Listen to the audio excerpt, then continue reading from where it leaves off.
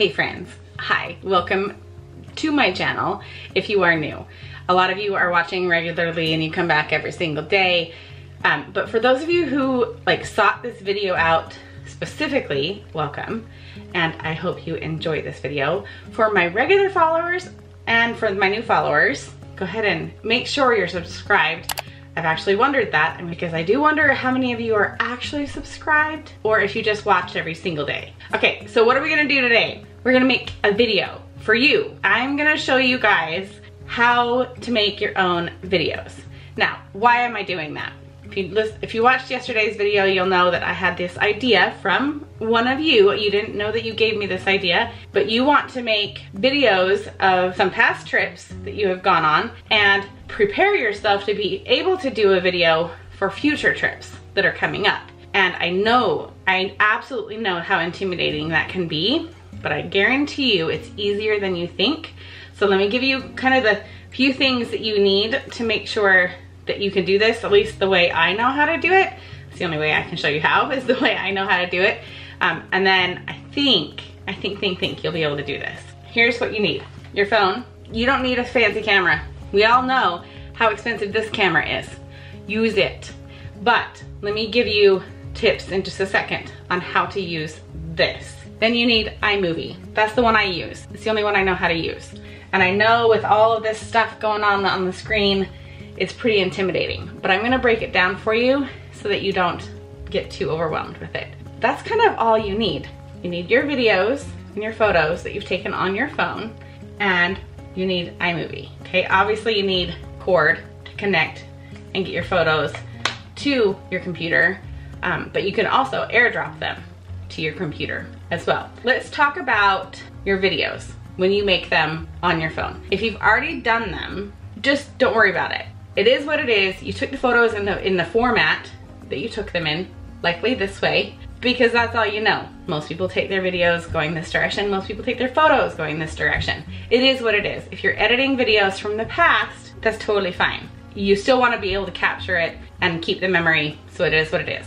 If you're doing this going forward with the thought process to do this going forward, turn your phone this way and start doing your videos especially in this format because that's the format that will fill any screen. It'll fill your phone screen when you turn it sideways to watch it, and it'll fill a computer screen if you happen to be watching YouTube from your computer screen. It's also going to fill it, fill the screen when you watch it from your TV, if you end up watching it on your own TV and showing family and friends, if you end up making a video, which I guarantee you, if you go to the time and effort to make a video, you're gonna wanna share, share it with your friends and your family. When you turn it onto video, if you're filming something, give it a second and then film it. And then, you know what I mean? Like, it's okay to have a, a, a, gap at the beginning before maybe you're gonna talk about something that you're seeing right in front of you.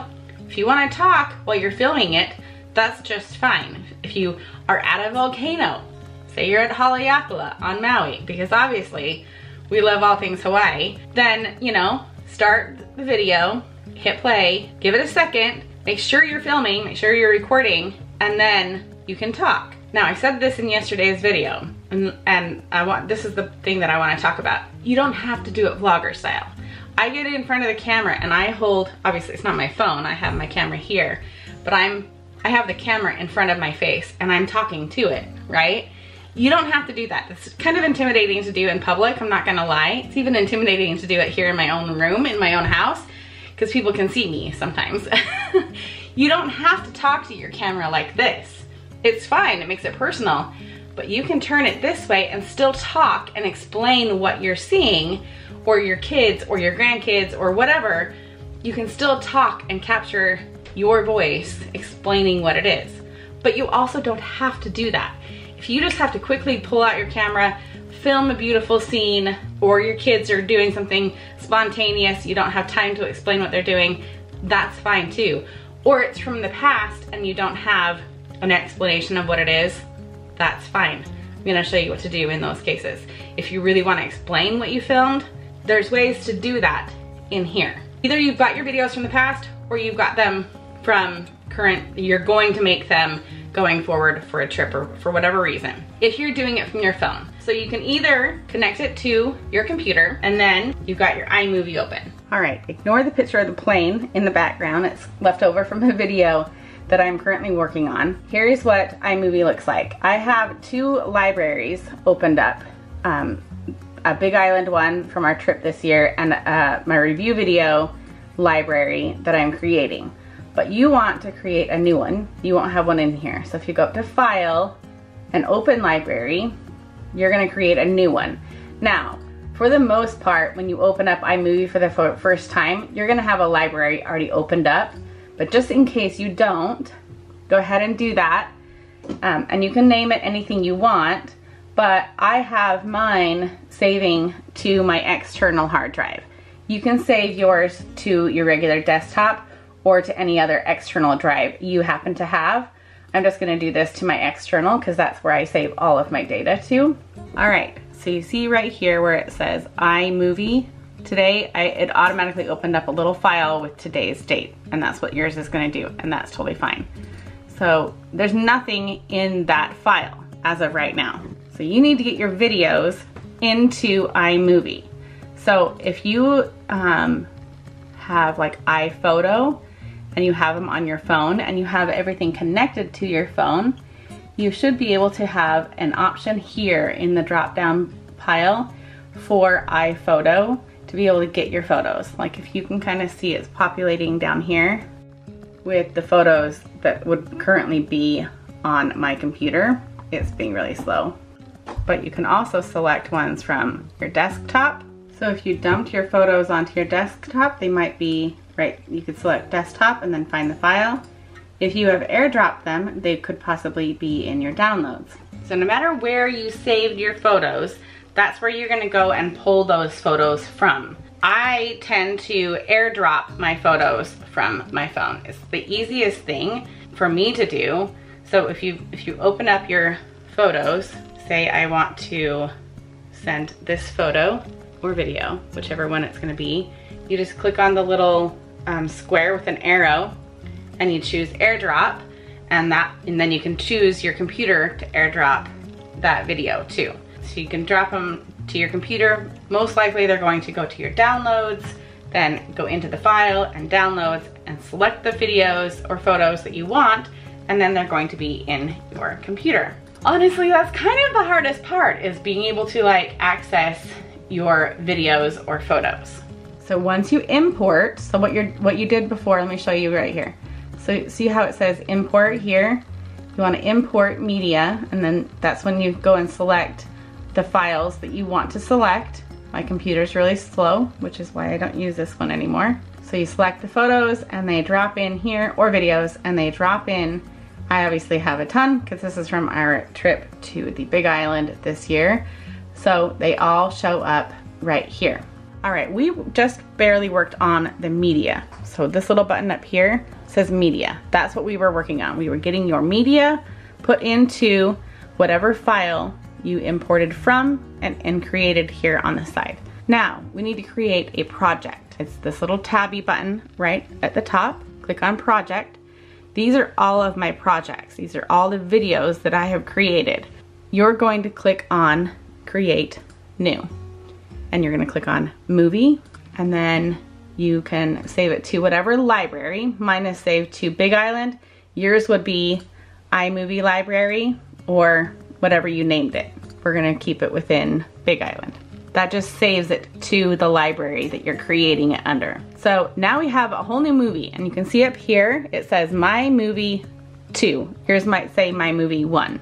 Doesn't matter, you can actually name that anything you want. So now so you have all of your media and this is called your project line right down here, okay? Now I know this part gets a little intimidating, so I'm just gonna show you. I have to kind of do it both with my my my uh, finger and with the little, what do we call it, the, the mouse. iPhoto and GoPro will automatically put your media in in chronological order, which is amazing for a video. I like to work chronologically, so most likely yours is gonna be too. So like I said, if you film in consecutive order throughout your day, your videos are all gonna be in order. But regardless, however you want to start your video, you're gonna click on whichever video or photo from this section of your media that you want. You can do this multiple ways.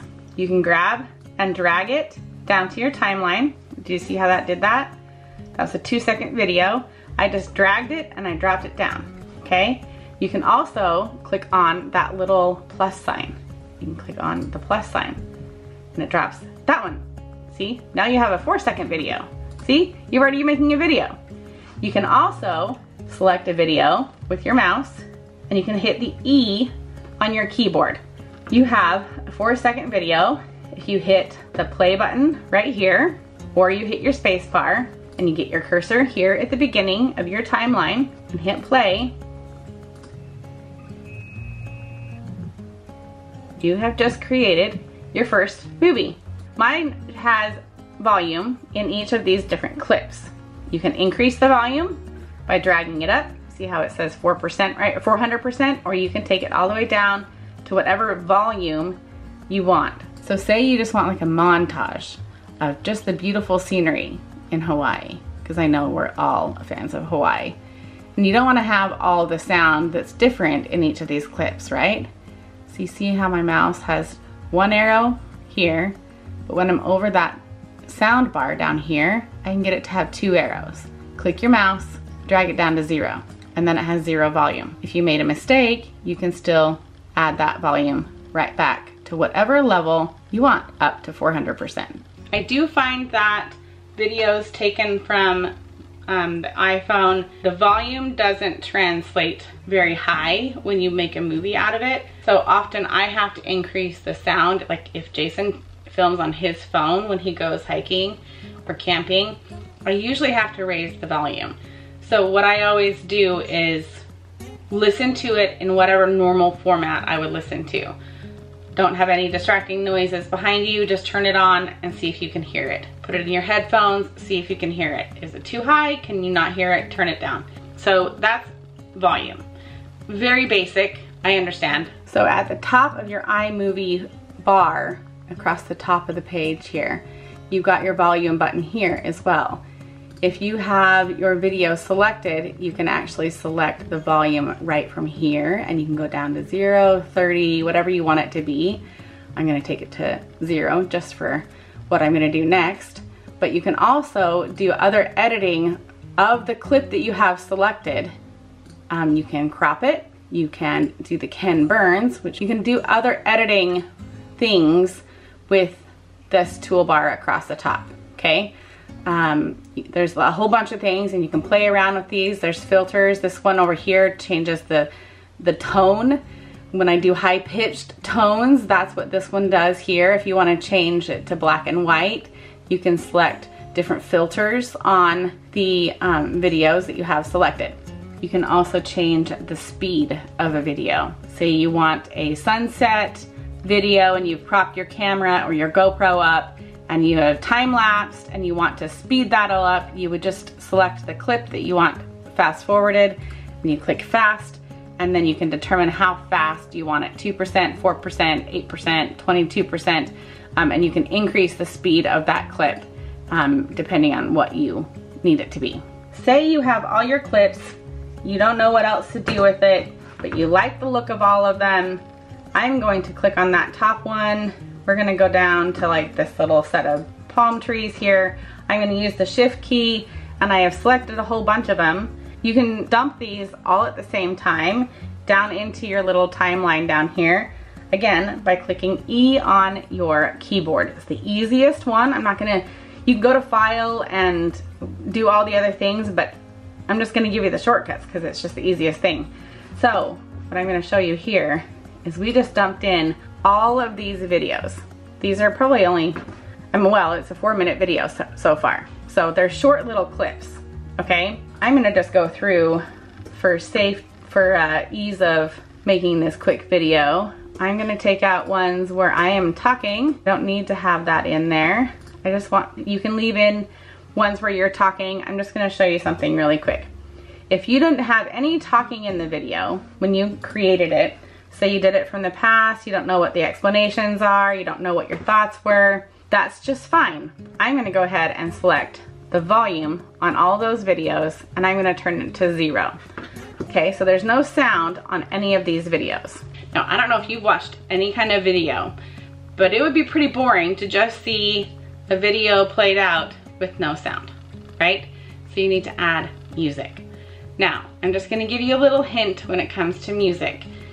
If you are going to do nothing with this video except for view it yourself, it doesn't matter what music you add to your video. You can go in and select an iTunes song that you happen to have within your iTunes.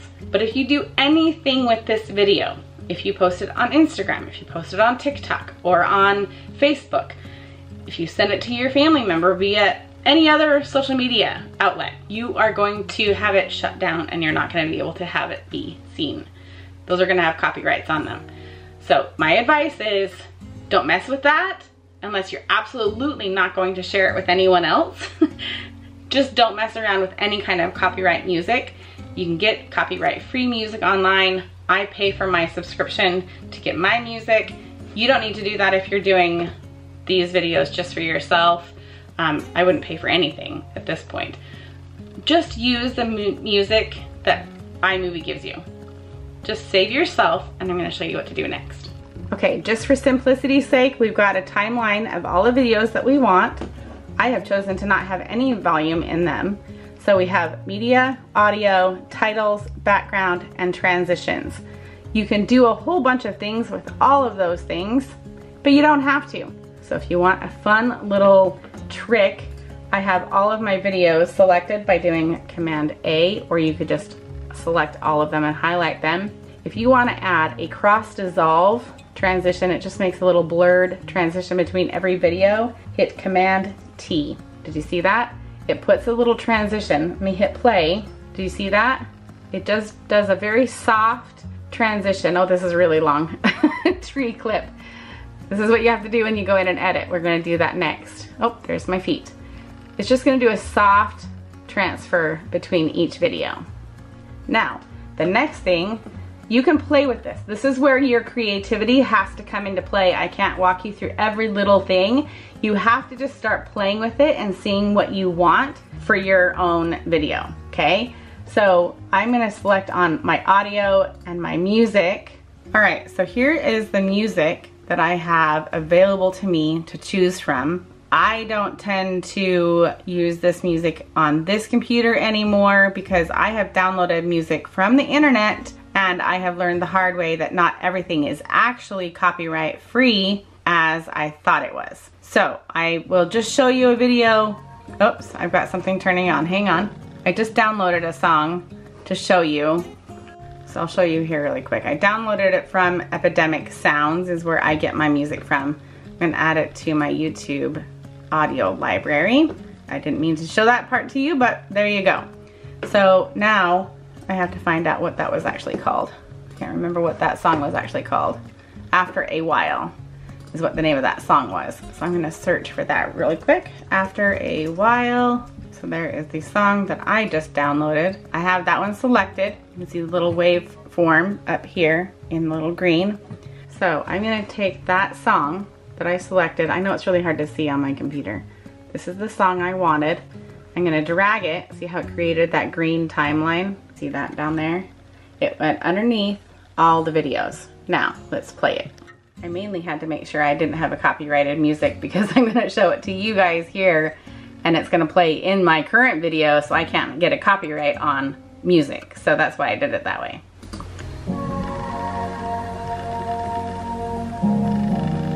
You can have that music go for any length of your video. You don't have to have it go for the whole thing.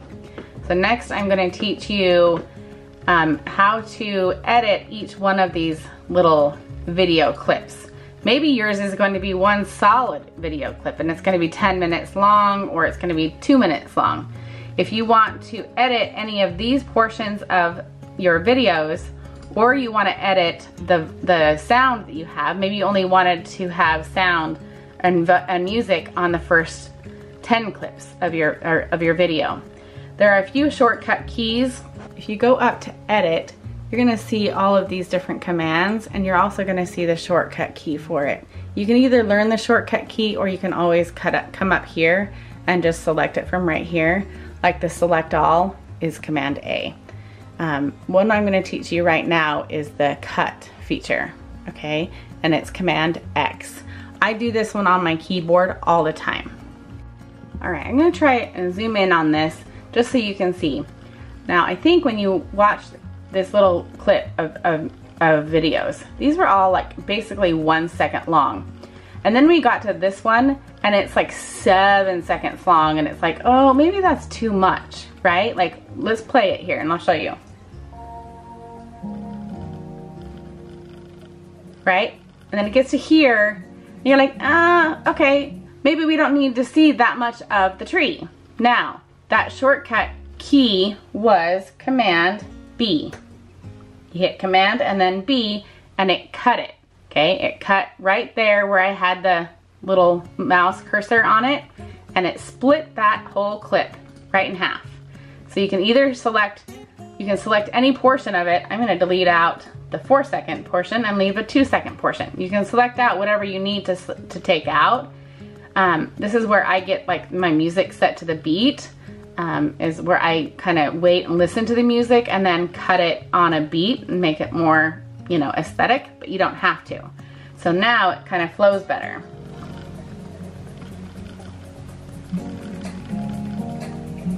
See? For the most part, I'm gonna have to tell you, you gotta fiddle with this, okay? You gotta hit play and you gotta play it through and listen to the music and and see what kind of vibe you want with your video. You need to listen through all of the parts where you're talking. If you happen to be talking in that part of the video. Listen to the whole thing play through. If you don't like something that you said, or you don't like something that you saw, or there's that little two or three second gap that I talked to you about, like when you start filming a video, you can cut that part out and start fresh right where you wanted to. The reason why I tell you to like film that kind of a, a little gap is to make sure you're actually filming what you want to film and give your chance to, you give yourself a chance to like take your breath start talking and then you can kind of cut that extra excess out. So you have to just kind of play with it from here based on what kind of a video you want. Just play with it. And if you just like to have it film everything that you've currently got, you can do so. If it's photos that you've got and they're cropped the wrong direction, you can zoom in on them. You can just use all those tools at the top and you can crop them or you can do the Ken Burns and that's where like it zooms in on the photo and then zooms back out. Just play with all that kind of stuff. Um, you can even add a white background and then add your photo on top of that. Literally, add a white background, stack your photo on top of it. Uh, when it comes to the little time bar, play around with it. If you have any questions with that kind of stuff, with like the editing and all of that kind of stuff, I'm not gonna go into every single detail either ask me down below or search like YouTube videos that really dive into like certain editing tactics. But I can answer so many questions that you have down below. I'm just not doing a total techie like video on all the details of every single tool within this video. I just wanna give you the basics. Um, but the next thing I want to talk about, and then we'll get to the end where we're gonna and show you, you know, the end result of it and what you can do in order to be able to use it going forward. Um, if you have not filmed a big event, whether it's a wedding or a vacation or grandkids coming over, if you have not filmed yet, let me give you some tips on how to do so. One, remember, turn your camera sideways so that you capture the full length of the video so that you can capture the full screen width when you make your video. The second is think about the atmosphere that you're in. Say we're, I don't know, maybe on a trip to Hawaii and you want to remember the palm trees and the flowers and the ocean and the water and the beach and the waves and the sound and the birds and then film that. Even if you're, you don't talk during that. You wanna capture the sound, you wanna capture the waves, you wanna capture the bright flower colors, right? Little two or three second clips that you take in videos are all the things that I just showed you when we played this video, they're all two seconds long. And so if you just capture that little part to your day when you're traveling especially, um, I do it when I'm just doing my daily videos as well. But if you just notice the things that you enjoy as you're going about your day, whether you're on vacation or you're at home, those are the things that you can translate into your video that bring the atmosphere to your viewer, right? So if you're on the beach, show them the flowers, show them the sand, show them the waves, and they only have to be two or three second clips. That's also gonna save you when you're editing it. You saw for me, I had all these clips. I haven't done anything with them. Those were exactly as I filmed them on my camera. And then I dumped them down into my timeline and I played it with some sound.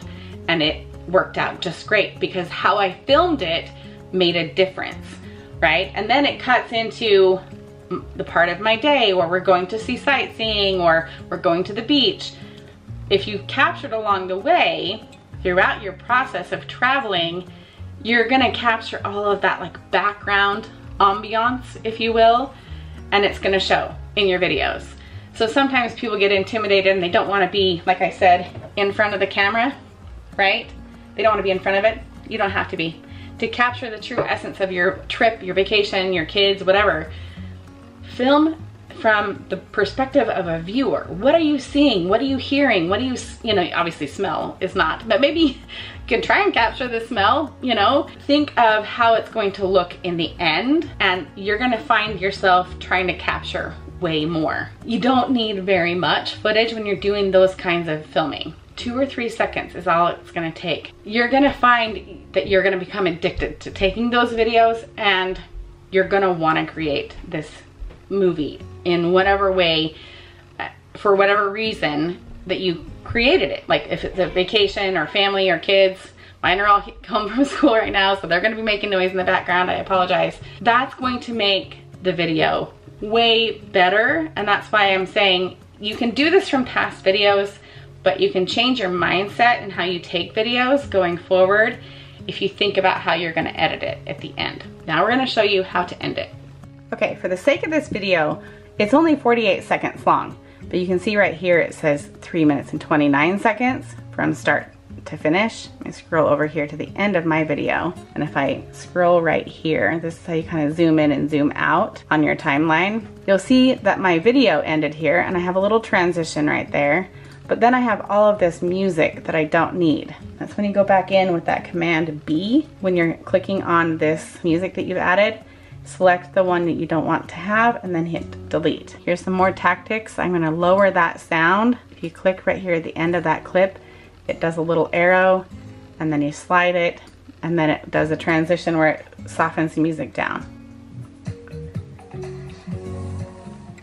Now, I do this over and over and over again, but watch your whole video from start to finish in full screen, okay? So I've got my cursor over here and I've got this button here will give me full screen. Okay, and you're gonna watch it in full screen.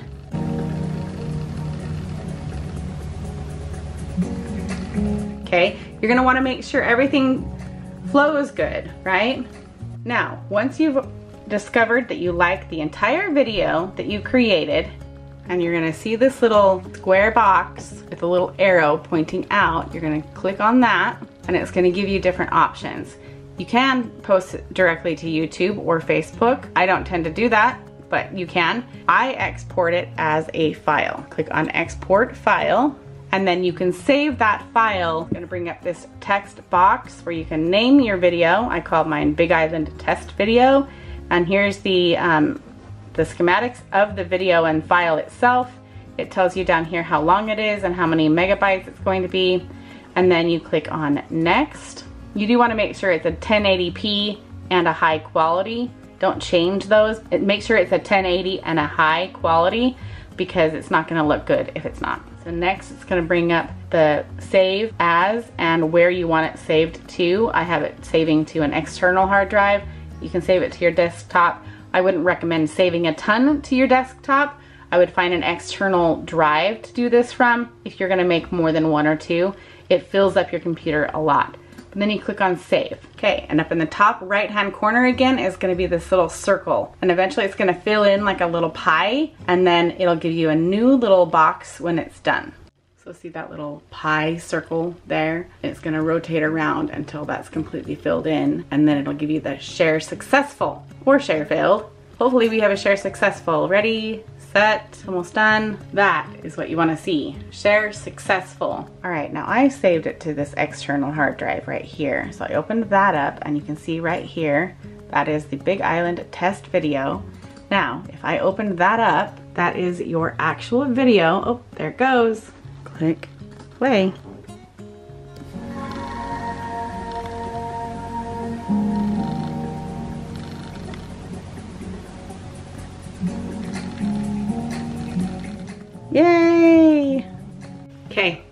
Friends, that's how you make a movie.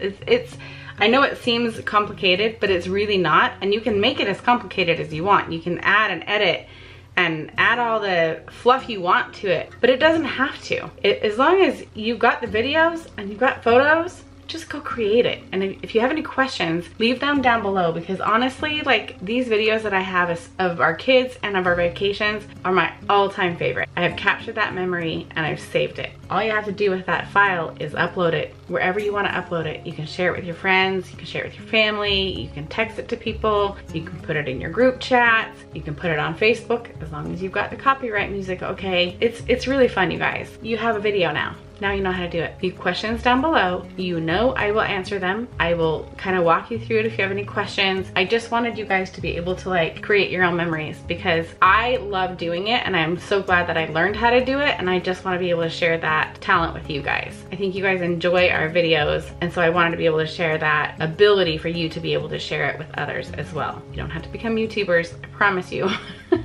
but I think you're capable of doing it. Even though you guys say you're not very tech savvy, I think you can do this. You can even do it straight from your phone. iMovie is on your phone. You can make this really, really simple and just do it on your phone if you want to. I just think it's easier to edit on my computer. I hope you guys enjoyed this. Let me know down below if you are going to attempt to make your own video. I would love to know that. And also if you have any questions, like I said, do not hesitate at, at asking me any questions because I will answer them. I promise you. It might take me a little bit if you guys all go crazy and ask me questions. Totally fine because I want to help you guys. So I hope you enjoyed this video. Take care and happy editing because I think some of you are gonna wanna capture your next vacations. And I know some of you are going to Hawaii. Some of you might be going to the Caribbean. Some of you might be going to South Carolina.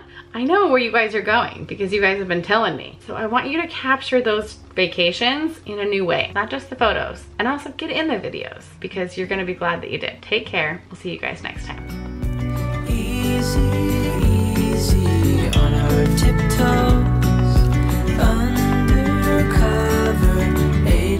of the